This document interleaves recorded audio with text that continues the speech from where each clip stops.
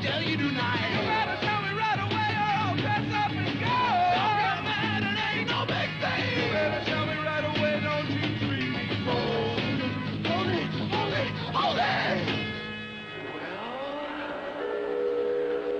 There are a lot of reasons why I'd, I'd drag a girl such as yourself back to this plastic hotel room and rip you off for spare change to run a to run a vibrating machine attached to this queen size bulk purchase K-Pock infested do not remove tag under penalty of law type bed and, and make you take off all your little clothes until you were nearly stark raving nude.